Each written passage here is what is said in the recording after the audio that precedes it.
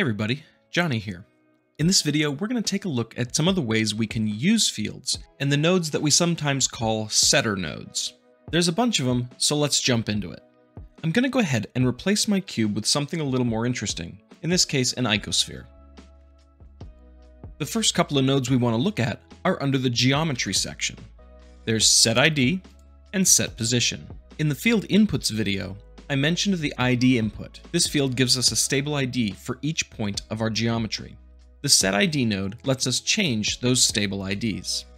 When we add this node and see the ID column appear in the spreadsheet view, we see that the IDs are lining up with the indexes. So here I could add an input ID node, route it into ID. Of course, nothing changes because this input gets this output implicitly if we don't connect anything to it. However, since this is just an integer, we can do some math with it. And so now I've increased the ID plus 1 for every ID. Of course, like many of these setter nodes, we can use a selection input to only affect the ones that we want.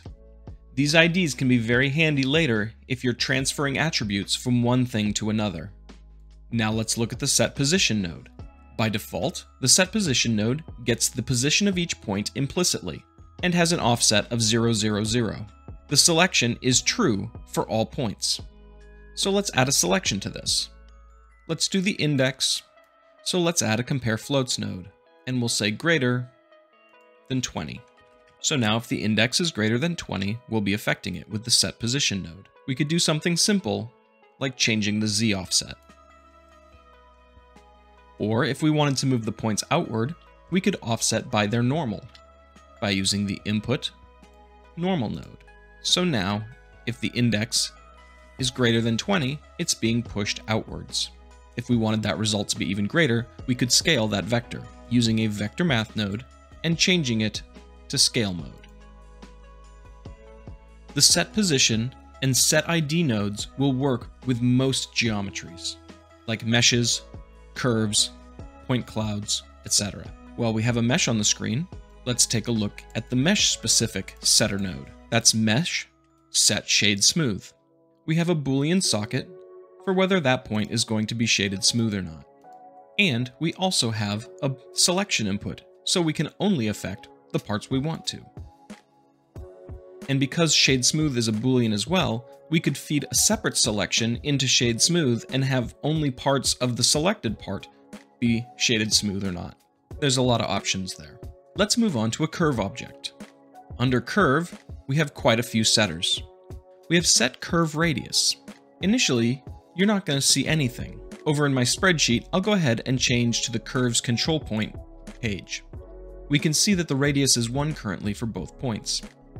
If I change this, we see it increases and changes. However, that doesn't change my actual curve. That's because there's nothing currently on my curve to increase with the radius. If I go ahead and add a curve, curve to mesh node, and then give it a profile curve, like a curve primitive curve circle, I'll change this radius down to 0.1. Now if I change the radius of my curve, you'll see that it affects the profile curve. Because radius is a field, I can plug a field value into this. I could input my index. At point 0, the radius is 0, and here it's 1. Now, you might be thinking, I can see that the radius is 0 here, but here it's very small. 1 should be way up here. Well, remember that our radius may be 1 because of the index being at 0.1, but our curved circle radius is 0.1. So we have 1 times 0.1, so we have a 0.1 radius here. Next, we have the set curve tilt node. Much in the same way as curve radius, we can set the tilt of our curve. It's hard to tell the tilt of a round curve, so let's change the profile curve to something we can tell. Let's use a quadrilateral. And reduce the size. And we'll stretch it out. Now, if I use my index to set the tilt, we see it goes from 0 tilt to 1 radian's worth of tilt. Of course, adding more points would add a higher index. So if we resample this curve, we get a whole bunch of twisting. Of course, if that's too drastic, we could also add a math node to this index. And depending on what we multiply it by, we can twist this up as much as we like. After curve tilt, we have set handle positions. Set handle positions only works on Bezier curves. In Blender 3.0 beta, you will not have this offset field. You will only have the position. If you want to calculate something based off the existing handle position, you will need to use the curve curve handle positions input first, and then alter those vectors. So here, if I wanted to change the left handle position, I would plug the left handle position into position, and then add a vector math node to this noodle.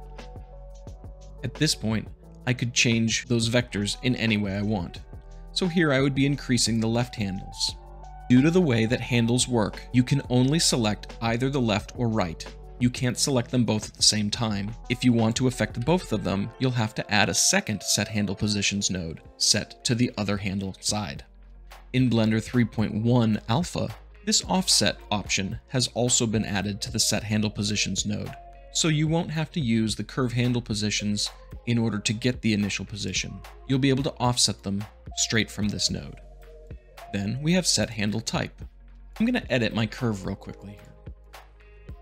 If I were to go in here and press the V key, you'll see that I can change the handle type automatically.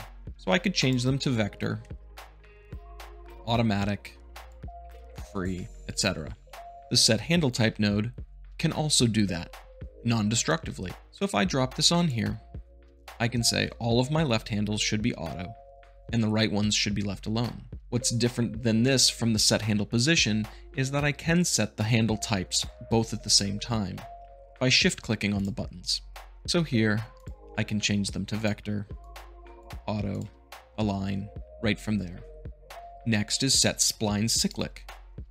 When enabled, this will set all the splines to cyclic. However, if I have more than one spline, like this, I can use the selection here on a per spline basis. Because the selection this is looking for is not a point selection, it's actually a spline selection. If I do an input index and connect this here, this index is the index of the splines, so this is 0 and 1. So spline 0 is not cyclic, and spline 1 is, because 0 is false and 1 is true. After spline cyclic, we have spline resolution. Here, we can alter the resolution of our splines, and because this is a specifically a spline setting, the selection here is working with the spline index. So if I were to pass in a value here, I would be affecting any entry in this field where the value is true. So here I'm only affecting the resolution of spline 1, while spline 0 isn't affected. Of course, if I wanted to flip-flop this, I could do something like adding a boolean math node and saying not. And finally, we have the curve set spline type. You have three spline types to choose from, Poly, Bezier, and NURBS. Some nodes, like the spline resolution, only work with certain types of splines. If you hover over the exclamation mark, you'll see a message saying what's happening, so in this case, the set spline resolution node only works with Bezier and NURB splines. So if I change this to NURBS or Bezier, you'll see that that error message goes away. Next, let's talk about instances. I'm going to add an instance on points node, and then add an icosphere, and have that be my instance. Under the Instances menu, I have Rotate, Scale, and Translate instances.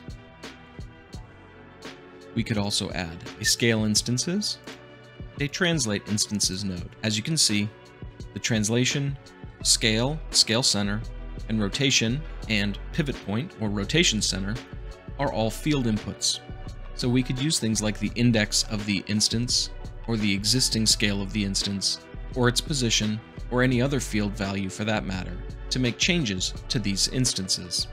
All three of these also have selection inputs so you can determine if the instance is going to be affected by this node. So these are a lot of the ways that you can use fields data to interact with your geometry. I hope this gives you some ideas for some things you could do. And overall, I hope this inspires you to make something awesome. Thanks for watching the video. If you're liking the channel, consider hitting subscribe. Thanks for watching, and I'll catch you next time.